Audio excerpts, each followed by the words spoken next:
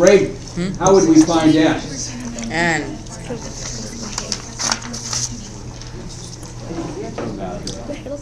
Pentagon, This one right here. How many sides?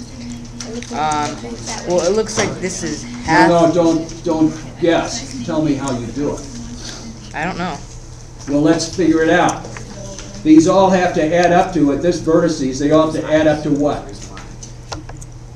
To um 360 Three sixty. So how much is an equilateral triangle?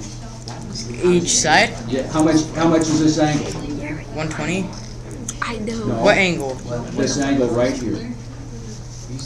Fred, we need you to pay attention. Kevin, I need you guys to be quiet. Yeah, First which thing- angle? I've asked you to be quiet several times. I expect you to be quiet. Okay. All right? 60 degrees. How did I get 60 degrees?